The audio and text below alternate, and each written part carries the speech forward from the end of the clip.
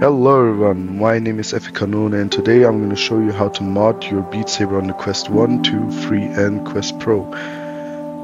And a quick disclaimer, if you didn't enable developer mode yet on your Quest, you're gonna need to enable it and then come back to this video because for this tutorial you're gonna need developer mode enabled. And uh, things got a little complicated since the last update, so we're going to use a different software. First off, you're going to need the SideQuest Advanced installer, not the easy installer, the advanced one. Just go ahead and click on download for Windows. And second off, you're going to need the Quest Patcher. Both of these are going to be linked in my description. Just go over here and download the Quest Patcher Windows EXE. After you're done that, just close your browser and open SideQuest.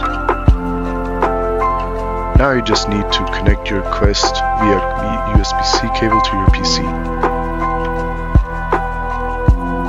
After you connected your Quest, you're gonna see that it turns green on the top left. On SideQuest, you're just gonna search for QAVS, press on this, and then press side load, and give it a second. After that's done, we're gonna go back to the quest. Once back on your quest, you're just gonna go to apps and then press on this and go on to unknown sources. Locate the quest app version switcher, press on it. And then it's gonna ask you for permission, just grant it and press back.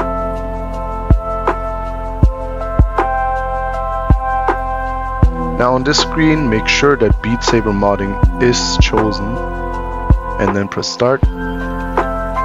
Now here you can do 135, I did 128 and then press next. Then your game is modded. Make sure that it's on the right version, you can go back to the app, just skip the install process, go to downgrade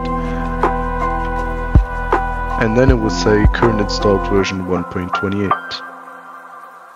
And after that's done, just go to Quest Patcher on your PC, reconnect your Quest if you disconnected it, and then press try again, else it should go to the main screen.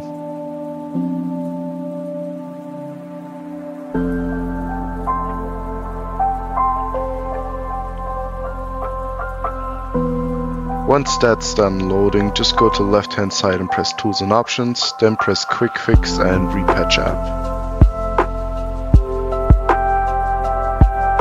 Once you've done that, just go back to mod management and this is where the page where you will drop your mods. As you can see, my mods are already installed.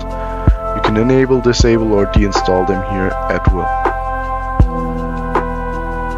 Next, we're gonna install some mods.